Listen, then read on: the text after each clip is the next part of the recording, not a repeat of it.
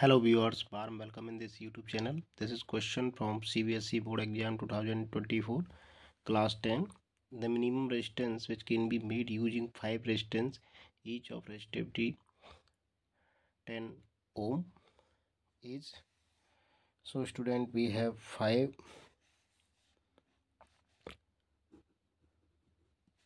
resistors of tan omega for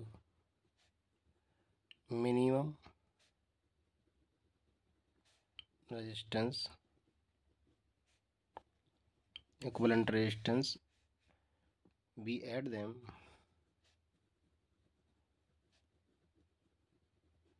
in parallel combination.